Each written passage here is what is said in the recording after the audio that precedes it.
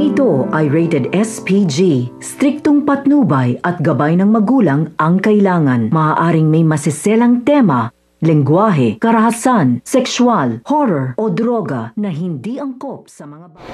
Nahuli na nga nito ni Annalyn itong si Doc Lindon na nagsasaksak sa kanyang sarili kung kaya't agad nga nasasabihin ito kay Luningning. Subalit tila ba hindi maniniwala si Luningning dito sapagkat uh, matagal na niyang kakilala si Lindon, residente pa lamang ito at alam niya na hindi hindi ito uh, kayang gawin iyon. Subalit tila ba may alam nga itong si Luningning sapagkat kakausapin niya si Lindon at sinabi nga nito na hindi sa ganitong paraan dapat niya kinakalimutan si Emily kundi may iba pang paraan dahil maaaring mawala ang lahat ng kanyang mga pinaghirapan dahil lamang sa mga ganoong bagay.